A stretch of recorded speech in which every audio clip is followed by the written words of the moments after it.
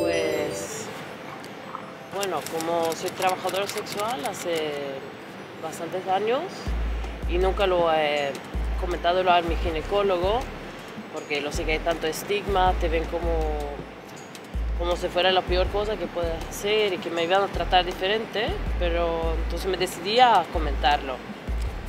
Y me lo comenté y me preguntaron, la primera cosa que me preguntan era si tenía VH y luego me preguntaron si tenía novio y sí que tengo novio y me asumaron que él también era sexualmente activo, como hacemos con, eh, con estas cosas y lo vi como, no me veía mi trabajo como un trabajo, porque no.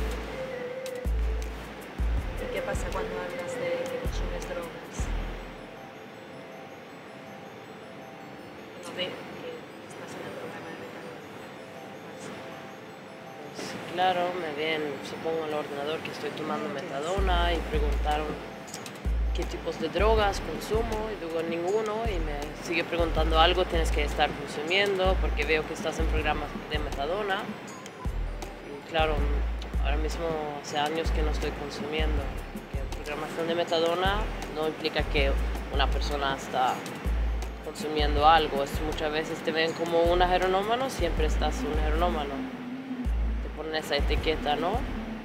Y muchas veces me he ido a pedir ayuda de dejar de consumir y básicamente me han dicho que es imposible, que una vez consumiendo siempre va a estar consumiendo y te hace sentir mucho más pequeño, ¿no? Como, como si no fuera teniendo derechos, como no seamos humanos. Sí. ¿Y qué le pasó a tu amiga cuando?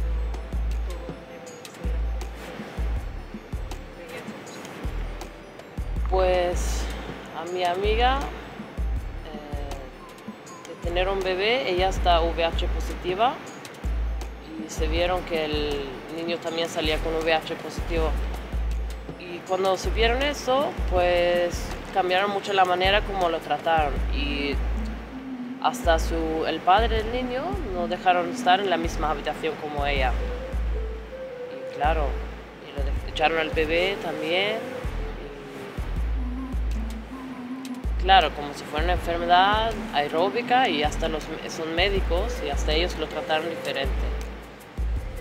Y luego no, no tuvieron ningún problema, el bebé luego negativizaron y todo bien.